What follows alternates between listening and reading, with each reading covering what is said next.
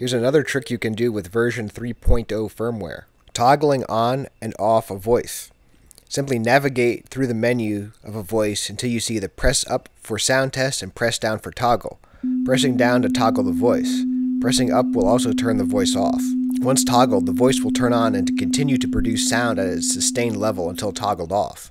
Make sure the carrier and modulation maintain is set to on to prevent release of the voice. To use the YM3812 as a voltage controlled oscillator, connect a gate source to an external envelope generator, CV source to the CV input of the YM3812, connect the YM3812 output along with the output of the envelope generator to a voltage controlled amplifier. You get a result like this.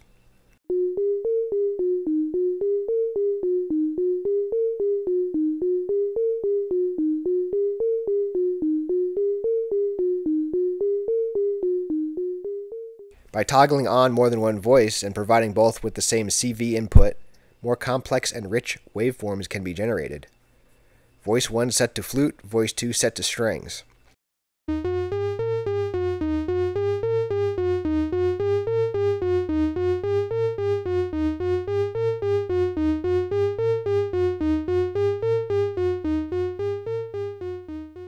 Also, by setting up voices identically except for the octave, chords can be played.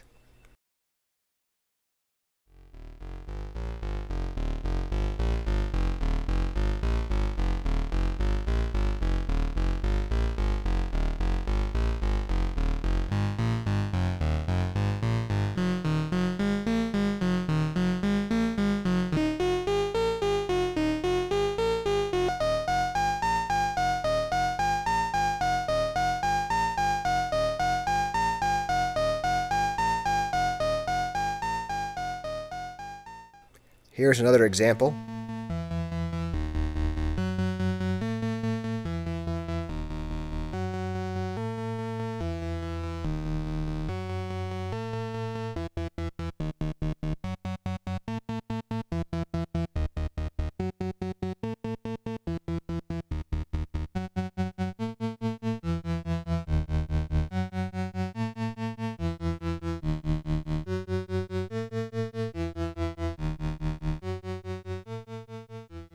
and another.